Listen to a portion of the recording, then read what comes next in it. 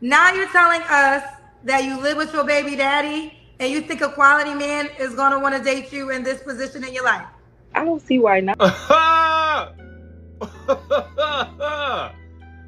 I mean, we're not together. Like, but when's the last time you was intimate, intimate with someone? You don't have to answer. Three weeks ago. With your child's father. Mm-hmm. Bro, bro, bro. Man, why are you out here dating, dog? You don't even have your own house. You still live with your baby's dad. You're still being intimate with this man. I just don't get it. And you're looking for a high value man. Y'all, tell me, tell me, this is fucking hilarious, my guys. You honestly didn't think anything was wrong with this? No, not really, because I know where my heart is at. Man, if you just had intimacy with your man not too long ago, bro, this man's body oils, his fluids, we know where they at, though. They inside. You can't tell me y'all not having. Um, you know, y'all not wrapping it up. Y'all not keeping it safe. That's your baby daddy. He's sliding in there. Skin to skin action. Skin to skin action. Creating some friction. Y'all know what time it is. Boy. Y'all, I feel bad for the man that actually agrees to date this person. Because I know she's going to be lying a lot. She's going to be lying saying, I live at home by myself. The situation is he comes over and watch the kids sometimes. The situation is we don't do anything. Uh, the situation is I'm not in love with him no more. Meanwhile, she getting her cheeks clapped every night. We know the we, we know the truth. No cheap men. so what's cheap to you? Going to Applebee's. like I don't do chain restaurants. Like five star restaurants. Like like stuff that you just never heard about. No chain restaurants. Ma'am, please name 10 non-chain restaurants in your area. Give me 10. I bet you don't know 10. Let's do the Kendrick Kim. Let's see, let's see you, girl. Five star, don't play with it. You built like a sloppy Whopper Jr., man. Mm. All you get is five onion rings with the extra zesty sauce. You don't get a five-star restaurant. Not even the extra zesty sauce. She taking, I'm taking her to Piccadilly's, all right? We're gonna slide these trays down the line. We're gonna have the girl scoop on our food like it's old cafeteria style. Like, this is the type of girl you gotta take one hour away from where you actually live because you don't want to be seen with her just yet. All right, this is the uh, this is the type of person that y'all go on a picnic and you order DoorDash and then you have to go meet the DoorDash at the start of the park because you still I'm going off, dog. Yeah. I, I don't even want to be gay no more. Like, Adam and scarred so bad by stanky cats that it just ain't worth it. Like, you see them on the social media and you be like, damn, they fine. Then when they take the clothes off of you, you be like, damn, they stink. Ooh, they stink from the front and they stinking from the back. They stinking from the front and they stinking from the back. Front smell like fish tank, back smell like hot dog water. Y'all know what I'm talking about. So she starts working, and I'm not gonna lie, it was a odor. And it was. Ooh, what was that odor, y'all? What was that odor, y'all? That thing smelled like two beta fighting fish going at it, huh? That thing smelled like some salt water. The bottom, you know, guys, for my guys that actually fish, y'all know when y'all take the boat out of the water, y'all supposed to clean the boat, right? When y'all get back home, y'all gotta hose it down, y'all gotta, you know, scrub it down because it leaves that old swamp water smell. she got that whole under the boat water fish smell, huh? A body odor. So we was feeling bad for her because she just finished throwing up. Mm. As soon as that bitch turned around, pumped that ass in the air. Oh, why came out of that ass. Oh yeah, she must have really been, dude. What the hell was she smelling like? She got a whole gaggle of women talking about that cooch. Man, that is wild. That is wild, bro. How you this old and just don't know about your hygiene, dude? I don't know. Swamp ass is a real thing. Adults, men, Y'all know what time it is. Stay up on your hygiene. Dude wipes, baby wipes, baby powder, all those things to keep, you know, whatever it may be. Body spray, deodorant, all those things, man. Stay up on your hygiene. Quick question, fellas. Do you feel less of a man if a woman is paying for the date? I nope. just really want to know. Like, Do y'all feel some type of way if the woman pull out her cash or her credit card or whatever to pay for the meal? Like, I just need to know. Is that wrong for us to pay? No, I'm really look, really, guys. I know we talk about this a lot, but man, just to let y'all know something about me personally, I'll pay the bill, dude. I'll pay the bill. I'm I'm I'm cool, but I have a kind of a test. The test is, will the girl offer to pay for dessert somewhere else? Will that woman offer to leave the tip? Now, if she says, look, thank you for the bill, please at least let me leave the tip then I'm like, oh, okay. We, we got us one, y'all. We got us one. You know, she obviously ain't trying to pay for the whole meal, but she wants to contribute somehow, some way, and her con her contribution is 20%. So you can almost think, hey, she might be willing to go 50-50. She splits the bill. She might be willing to go all 100 and take care of you. She doesn't have, uh, money is not an object with her, so she'll buy you things. She, let me get this, I got it. Or if she says, let me cover the tip, she means she's modest, she's a virtuous woman probably, she's walking in her femininity, and she might come with that 80-20 rule. You know, you take care of 80, she, she's gonna want out of her own willingness to take care of the 20%. I, I don't know, that's just my observation. All right, guys, she just let me just go ahead and pause this video because right now this girl name is Drea. This girl's name is Drea. Woman's name is Drea Nicole. She is kind of going viral because she says that, hey, she was in a Lyft and the dude was trying to take her somewhere and, you know, the story of, you know, I can't say a lot of these keywords, but y'all get where I'm going. He was trying to take her where she wasn't trying to go, pretty much. So she jumps out the car gets all hit up, busted up pretty much. So people are wondering if this is real. Of course you got internet fact checkers everywhere. Well, let's just see how this story unfolds because not only did she get caught in her own story, she did something else. Y'all gonna see what I'm talking about. I almost died jumping out of a moving Lyft. Yeah. Because the Lyft driver was trying to kill me. So, I work at the Clinton Outlets in Connecticut. If you live in Connecticut, you know the Clinton Outlets is exit 63. I live in New Haven, Connecticut, which is about 30 30 minute ride. When I got a female driver, I was so happy, y'all, so happy. And the crazy thing about it is Lyft had gave me a female driver and then Lyft switched it and gave me another female driver because she was closer.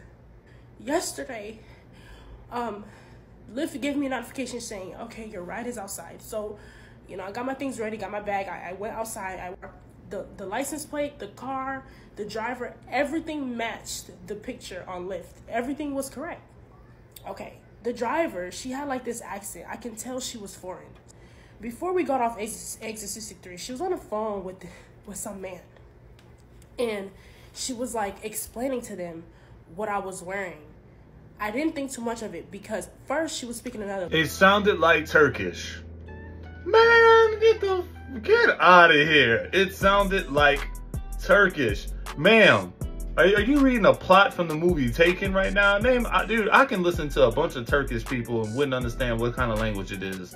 All right, and I really wouldn't uh, like. How do you know that off the bat? Do you speak Turkish? All right. I just don't, uh, bro. Language. I don't know what she was speaking on the phone with this man. She, the language she was speaking, it sounded like it was she was from the Middle East, or but she said something in English when she was on the phone with the man, which is weird because she was speaking another language, and then all of a sudden she started to say, "dark, dark skin, red sweater." When she said, she said, no, she said red sweater, dark skin. When she said red sweater, dark skin, I had on a red sweater and I'm dark skin. So she was describing whoever she was on the phone with, she was describing me to that person, what I was wearing, how I looked, which was weird. I did not I did not think too much of it because I was about to be to work. I was almost to my destination. So you know what? Even though I was nervous, I'm like, okay, I'm gonna just let I'm gonna just let God handle the rest. You know, I'm about to be to my destination. I'm gonna just let her take me to my destination. But we got off. Basically, she goes on to explain like, hey, She felt very scared, terrified, and then uh, she went ahead and jumped out of a moving car. Got all banged up, all right? So of course, we're like, where's the receipts? Where's this story at? Blah, blah, blah. You know, like what's going on here? Because you don't look like you just kind of just jumped out. This looks like you kind of put some makeup on. But anyway, let's check her out two months later. I'm so sorry, y'all. I could not finish the video the other day. I was not right emotionally. I had a lot on my plate. Everything was the incident happened. That is why my face looks better, but the damage is is already done. The trauma is still there. Let me finish the story. Okay, so we got off exit 63. The Lyft driver, she had to turn left to get to my destination once you get off exit 63. The Lyft driver had her left turn signals on. Mind you, she had her left turn signals on. So she knew, even she knew she had to turn left. Even the GPS told her she had to turn left. Guess what she did? She ended the ride and got back on the highway.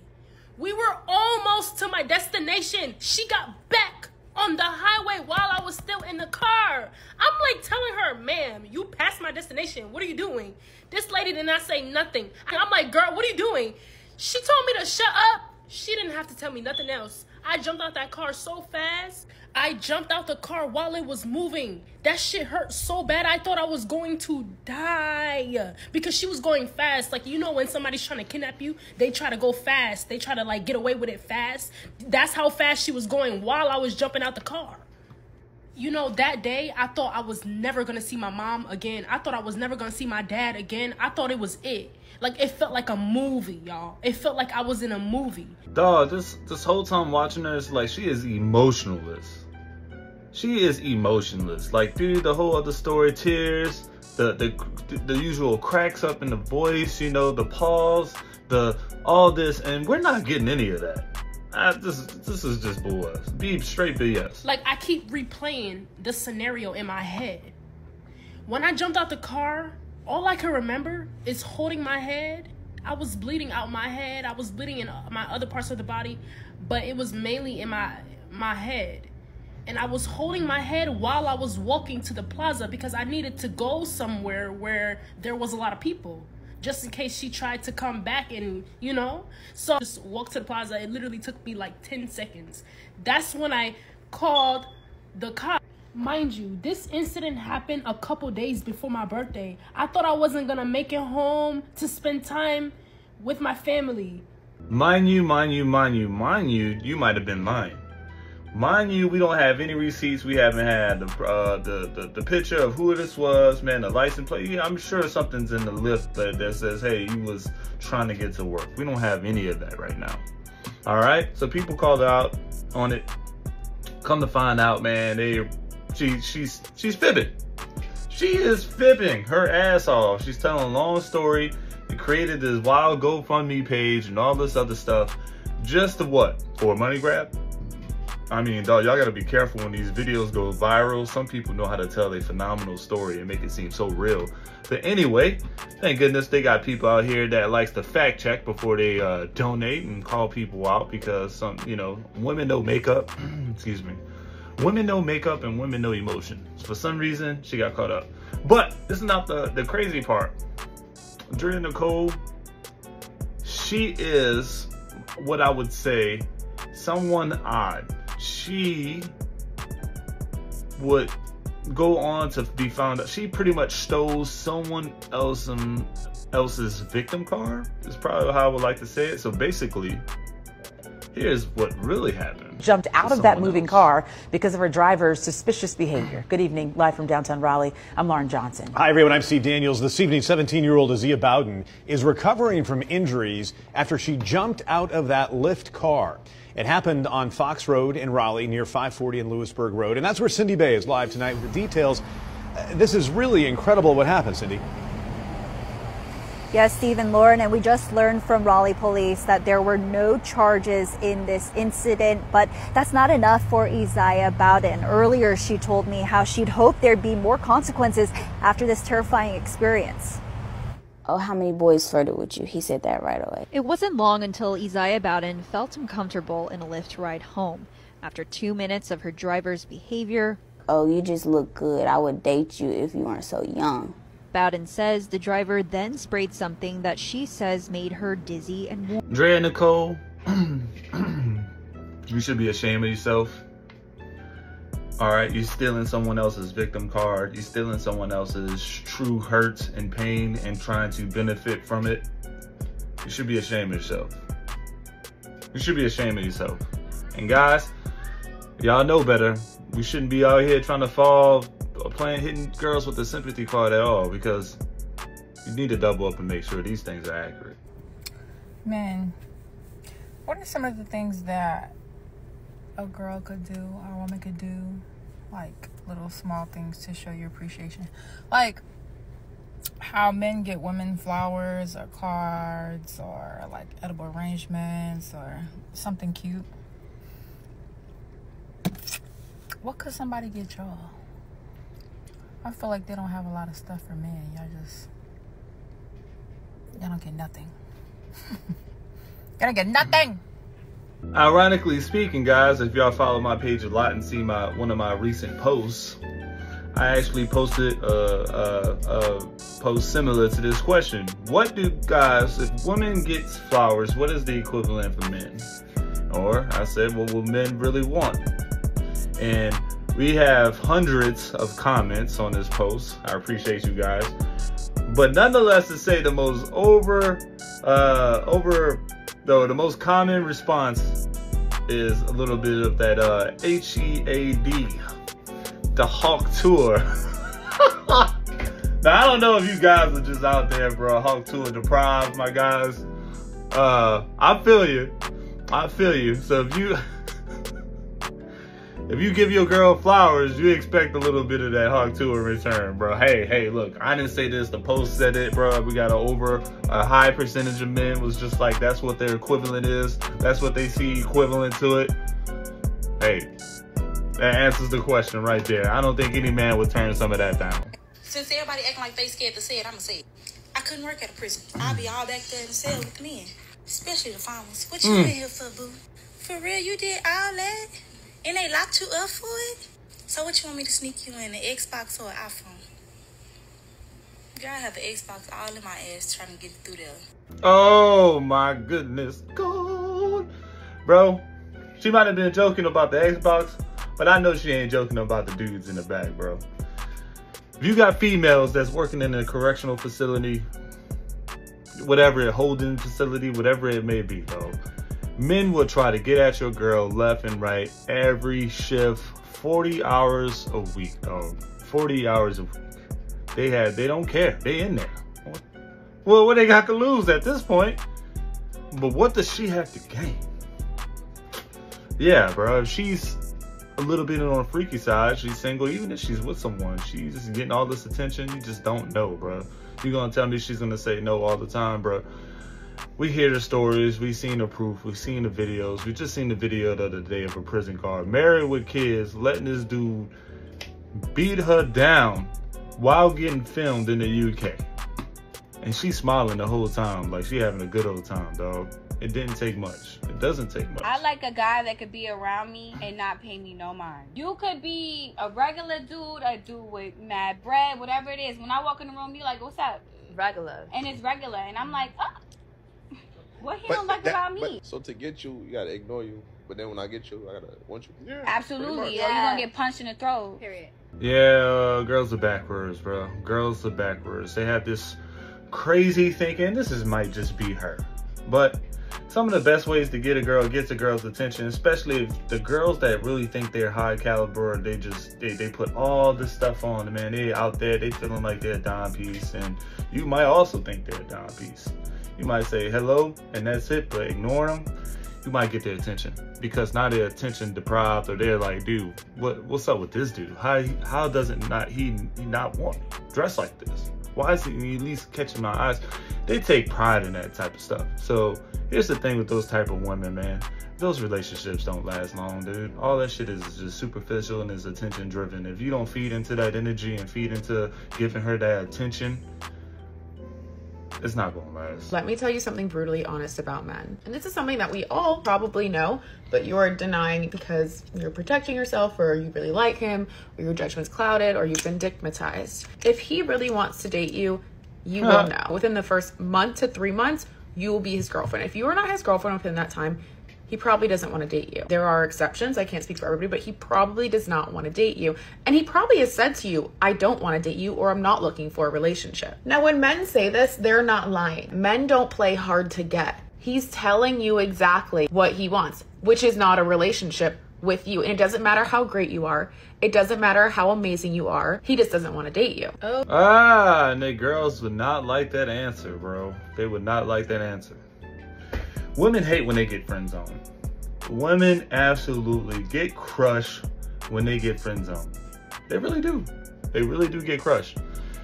And it's it's really nice, but you can men could be brutally honest and they still wouldn't be able to accept that. All right, they wouldn't be able to take to the fact that they did everything they're supposed to do, and this man didn't want them. They feel crushed by it. But let a man, let's flip the cars. A man can do everything. Buy you a brand new car, take you on all these trips. All right, do all this and still get friend zone. All right, go above and beyond and still get friend zone. But meanwhile, women can get friend zone just by just because I, I yeah, you're just really not my type, and they just feel destroyed by it.